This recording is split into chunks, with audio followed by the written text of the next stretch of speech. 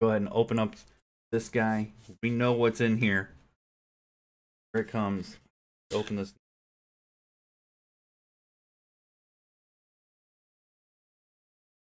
I'm not sure which side is up and which side is down. This feels like it's the set him there for right now. Little piece of tape up here. Just peel that off. And there's the top. Oh boy.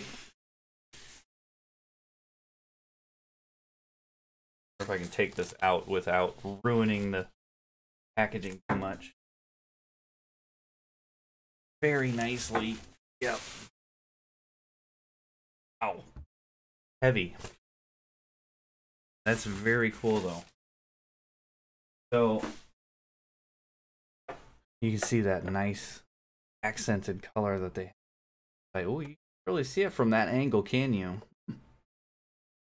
Interesting.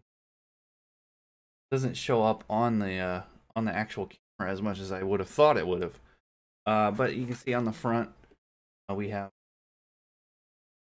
our uh drive and our power button, our sync button, and a USB port. And on the back, turn around to the back and look at the back here.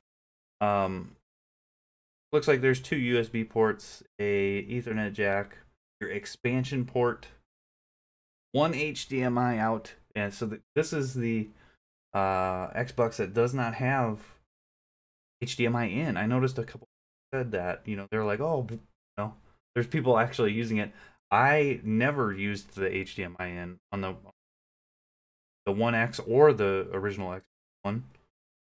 Um, it actually has a venting port here near the top. I don't really know what that does, but you can see the fan from there. Pretty cool. So very heavy, not very heavy, but got some weight to it. Um, and then it has the rubber feet on the one side. So, you know, you want to set it down like this. Set it down like that. And it has a nice Xbox logo right there on the top. And, uh, very understated, isn't it? It's very subtle. Uh, a very nice rubber base on this side when you do set it down uh, I mean, I think they did an awesome job. I think it's great.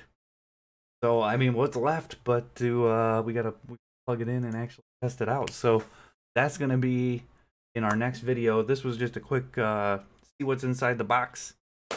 Hope you guys have a wonderful opening day of your new Xboxes.